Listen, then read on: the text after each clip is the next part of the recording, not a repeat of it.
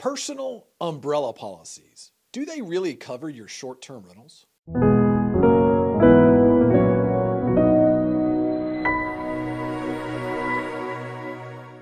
Hi, I'm Jeff Hampton with STR Law Guys. Today I want to talk about commercial insurance, short term rental insurance policies. And today I want to speak specifically about umbrella policies.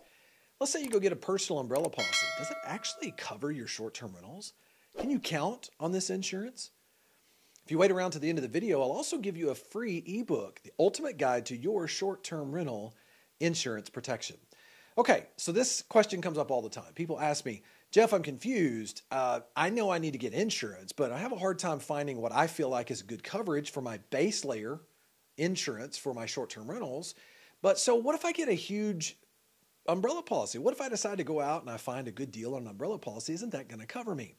Well, I want to break this down. This is super important to understand. There's two types of umbrella policy. You can have a personal umbrella policy and a commercial umbrella policy.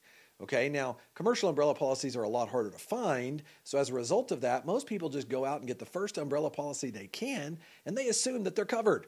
I want to warn you, that is not always the case.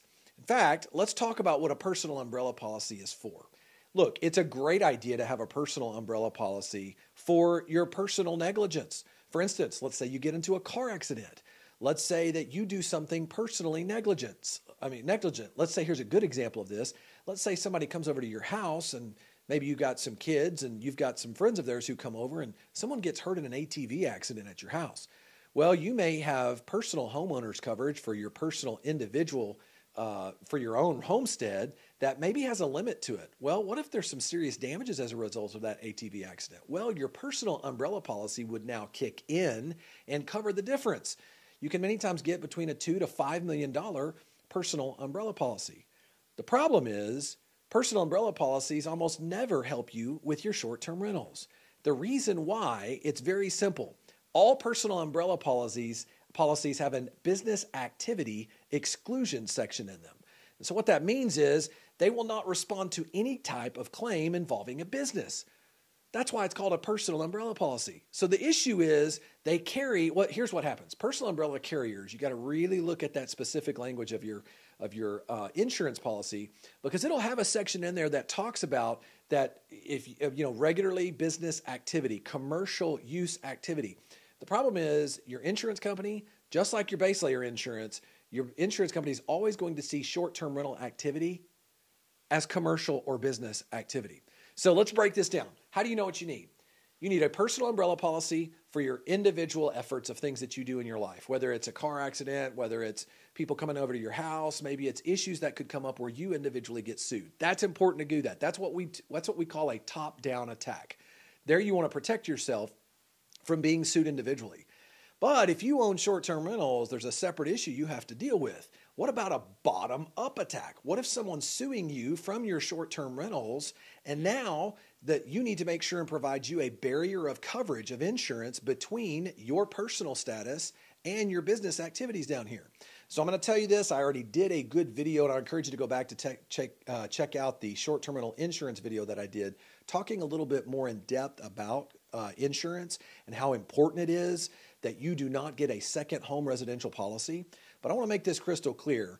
When you go get to when you go to get insurance for your short-term rental, make sure it is a commercial policy Make sure that you've got premises liability coverage of at least a million dollars. Make sure that you have got um, dwelling coverage, or what we kind of call an all risk policy, in case your uh, your guests damage your property. And you need to also make sure that you are well covered for loss of income in the event that you have a serious issue that causes your property to be unrentable on Airbnb and VRBO for an extended period of time. But can I say this? The general rule is this it's really hard to find a good commercial policy. So that my advice to you is to really ramp up your underlying coverage. Go get a commercial policy. Instead of it being a million dollars on that premises liability get it up there to two plus. Try to see if you can get it up as high as you can because for every increase in that policy you're going to see a small increase in your premium. It's not going to be an exponential increase but you're going to get a lot more coverage. So i'm just telling you this an umbrella policy too here's another thing to be aware of an umbrella, umbrella policy only kicks in if your underlying policy is fully exhausted. People don't realize this. you need to make sure your umbrella policy is only as effective and protective as your underlying policy is.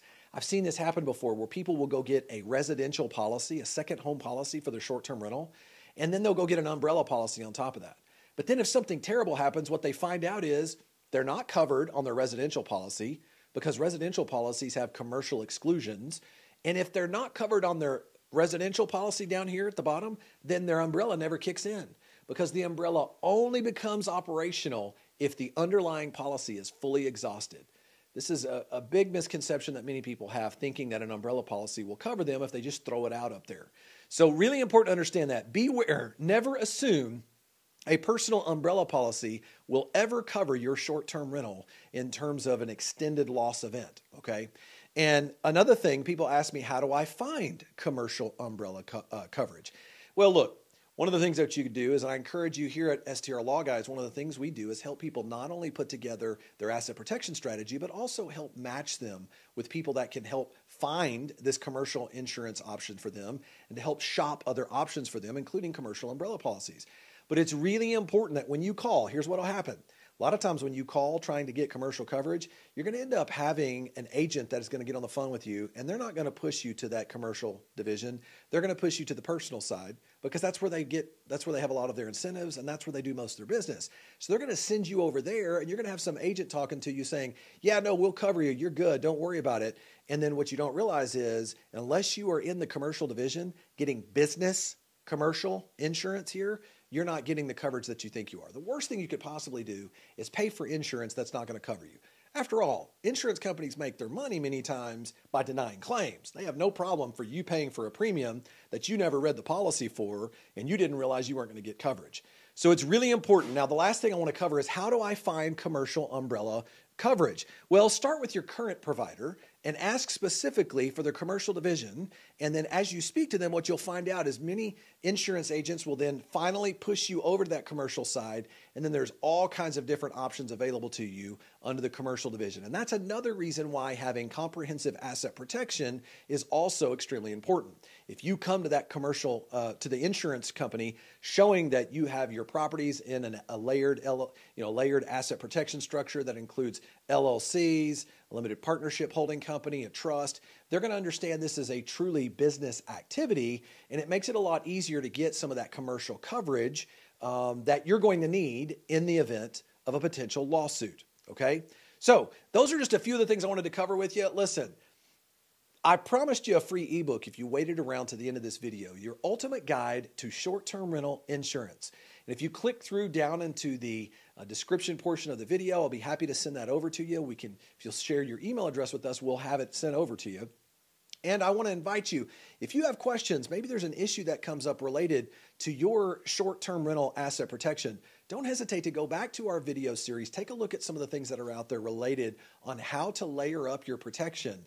Because listen, there are so many short term rental owners that are out there that are not protecting themselves, and they end up being really shocked whenever a liability event comes up. So, I want to welcome you to our channel, and I want to thank you for watching this video. Subscribe to our YouTube channel, and we'll see you on our next video series.